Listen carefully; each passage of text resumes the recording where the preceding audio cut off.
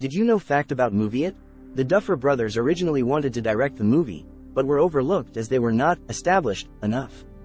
They went on to create Stranger Things, 2016, which co-stars Finn Wolfhard, Richie, and pays homage to Stephen King.